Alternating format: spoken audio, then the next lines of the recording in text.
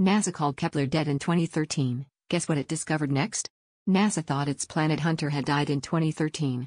Kepler had lost two of its four reaction wheels, the gyroscopes that let it stare at one star for months, and the 1 billion pixel telescope tumbled uselessly in interplanetary darkness. Ball aerospace engineer Charlie Sobeck refused to pull the plug. Studying telemetry, he noticed the craft drifted steadily in one direction, the gentle shove of sunlight.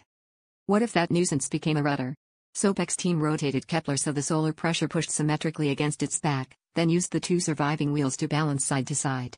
After weeks of simulations and white-knuckle commands, the telescope locked onto a test star, and stayed there. Kepler, reborn as Mission K2, could now scan strips of sky along the ecliptic for 80-day stretches. The fix came with quirks, thrusters had to fire every six hours to keep roll steady, and the view had to jump every campaign.